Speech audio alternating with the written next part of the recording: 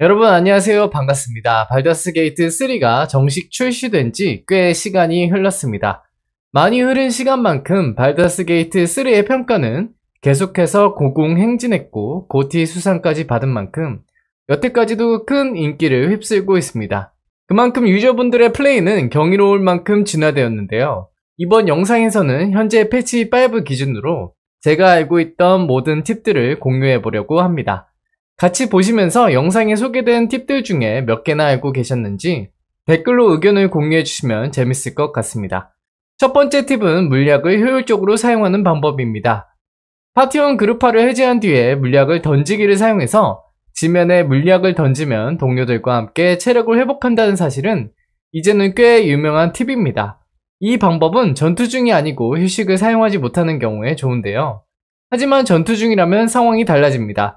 던지기는 일반 행동을 사용하는 행동이다 보니까 던지기를 사용하면 공격이나 주문을 사용하는 행동을 사용할 수 없게 되어서 아쉽게 되는데요.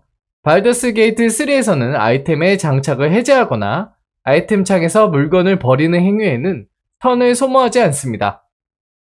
원거리 무기창에 쌍수로 사용 가능한 손쇠뇌를 착용한 뒤에 potion을 드래그해서 바닥에 떨어뜨려 준 뒤 보조무기 공격으로 potion을 부셔준다면 일반 행동을 사용하지 않고 보조 행동으로 물약을 파티원에게 사용하는 것이 가능해집니다.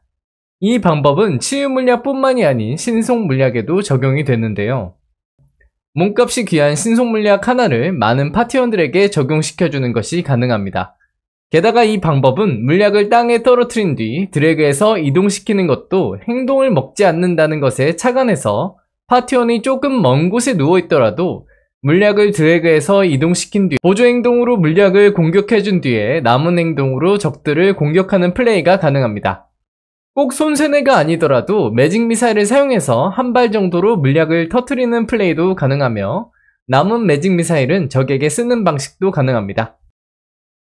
다음은 소매치기 관련 팁입니다. 발더스 게이트 3에서는 상인들의 아이템 가격들이 터무니없이 비싸서 상인의 아이템이 탐날 때 가장 자주 사용되는 방법이 소매치기입니다. 하지만 상인이 가지고 있는 아이템이 탐나는 것이 한두 가지가 아닐 때에는 소매치기에 걸리는 시간도 길고 효율적이지 않게 됩니다. 턴 모드로 들어가야 하고 주변 시야를 차단시켜야 하며 능력치 굴림을 성공시켜줘야 하죠. 하지만 이 방법을 사용한다면 여러분은 버그나 불법을 저지르지 않고서 정당한 소매치기로 상인에게서 물건을 손쉽게 털어올 수 있습니다. 먼저 상인에게 거래를 걸어서 배낭을 판매해 줍니다. 배낭을 더블 클릭해서 상인의 탐나는 물건 중 원하는 모든 것을 배낭에 드래그해서 넣어줍니다. 이후에 배낭을 소매치기 해주면 되는데 고가치의 물건들을 많이 넣었음에도 불구하고 소매치기 난이도는 거의 변화하지 않은 것을 확인할 수 있습니다. cleric의 인도 주문 bard의 bard의 격려를 사용해서 능력치 판정에 2점을 받은 뒤에 소매치기로 배낭만 소매치게 해오면 됩니다. 소매치기 당시엔 보이지 않지만 손재주 판정에는 여러 능력치 판정 상승 효과가 적용된 모습을 보실 수 있습니다. 배낭을 소매치기 하면 자연스럽게 물건들이 포함된 배낭을 확인할 수 있습니다. 다음은 주문을 사용할 수 있는 직업이라면 거의 다 배울 수 있는 하급 환영의 사용법입니다. 하급 환영은 주변의 크리처가 생성된 환영을 조사하게 만들 수 있으며 투명화 상태일 때 사용해도 풀리지 않습니다. 자연스럽게 하급 환영을 조사하려고 뭉친 creature들을 화염구 플러스 폭발물의 조합을 사용해서 손쉽게 일망타진할 수 있으며 이 방법은 적의 위치를 파악하고 있다면 선공 몬스터들에게도 적용이 됩니다. 다음은 마법손입니다. 마법손도 하급 환영과 마찬가지로 주문 슬롯 없이 사용 가능한 소마법입니다. 게임을 시작하면 rogue의 암습 스킬을 쓰려고 하다 보면 적에게 이점을 받아야만 사용 가능하다고 뜨는데 이 마법손을 사용해 놓으면 손쉽게 적에게 암습을 발동할 수 있습니다. 조건은 간단합니다. 마법사의 손을 소환해 놓고 적에게 가까이 붙여놓기만 하면 되는데요. 또한 1번의 팁과 같이 적용해서 아이템을 버린다는 것은 행동을 사용하지 않으므로 전투 중에 물약 같은 아이템을 버려놓고 마법사의 손으로 던져서 동료들의 체력을 회복하거나 폭탄 같은 아이템을 적에게 던져 데미지를 입혀줄 수도 있습니다. 다음은 우호적인 NPC들에게 범죄 행동을 했을 때 발각되었을 경우의 팁입니다. 원래라면 훔친 물건을 돌려주거나 감옥에 가야 하는데 대화창의 캐릭터 선택을 통해서 다른 동료들의 시점으로 전환합니다. 그 후 밀치기를 통해서 나쁜 짓을 한 캐릭터를 멀리 밀어줍니다. 그러면 당신이 갑자기 떠나서 대화가 짧아졌다는 텍스트와 함께 더 이상 추궁하지 않습니다. 이 방법은 밀치기 뿐만이 아니라 대화를 할 수 없는 상태에 이게끔만 만들면 되는데 예를 들어서 동료들로 공격해서 사망 처리를 시켜버리는 방법도 있습니다. 자체적으로 우리가 심판했으니 이제 괜찮지? 라는 방식으로요. 다음은 힘을 올려주는 언덕거인의 힘영약, 구름거인의 힘영약을 수급할 수 있는 상인입니다. 1막에서 tiefling들이 있는 마을, 에텔 할머니 상인에게서 언덕거인의 힘영약을 긴 휴식 할 때마다 수급이 가능한데 캐릭터가 레벨업 할 때도 이 영약은 수급이 다시 돼서 위더스에게 말을 걸어 레벨을 초기화시킨 뒤에 하나씩 레벨업을 하면서 영약을 사놓으면 삼막까진 걱정이 없으며 삼막에서는 본클록의 약재상에서 구름거인의 힘 영약을 동일한 방식으로 수급할 수 있습니다. 다음은 소환수를 이용한 팁입니다. 소환수는 탭키를 눌러도 아이템 창으로 들어갈 수가 없어서 간단한 스펙 정도만 볼 수가 있고 영약을 아이템 창으로 이동해서 소환수에게 영약을 먹이는 플레이가 불가능한데요. 하지만 영약을 바닥에 버리고 마우스 우클릭으로 마시기를 누르면 영약을 마셔줄 수 있습니다.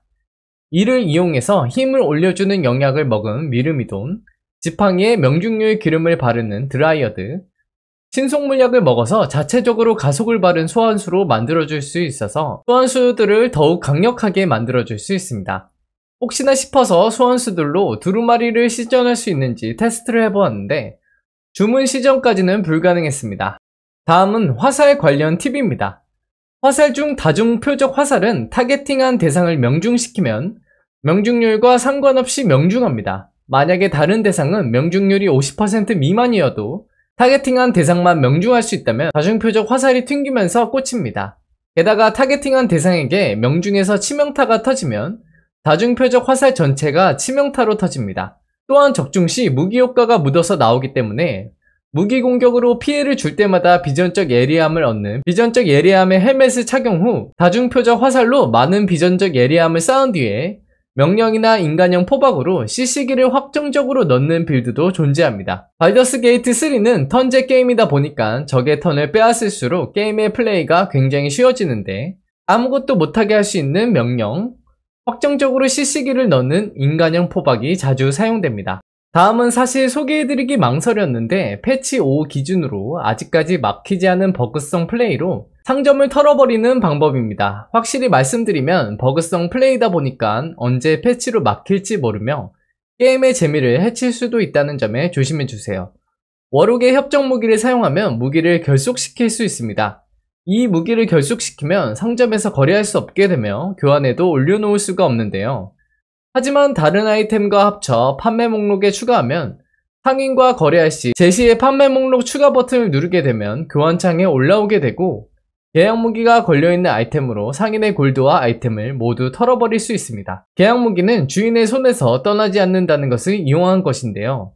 상인과의 거래에서 사용한 계약 무기는 상인의 아이템들과 모두 교환해도 아이템 창에 그대로 남아 있습니다. 3레벨 파이터 비술기사의 무기로는 테스트 결과 동일한 방법이 불가능하며 5레벨 warlock 검의 협정에서만 가능했습니다. 현재까지도 유일하게 막히지 않은 버그성 상점 털기이며 유명하지 않은 버그라 조금은 막힐 가능성이 적다는 것입니다. 하지만 언제 hotfix로 패치될지 모릅니다. 영상은 여기까지였습니다. 영상의 팁들 중 몇 개나 알고 계셨나요? 전부 다 알고 계셨다면 이 게임의 고인물이십니다. 영상을 시청해주셔서 감사합니다.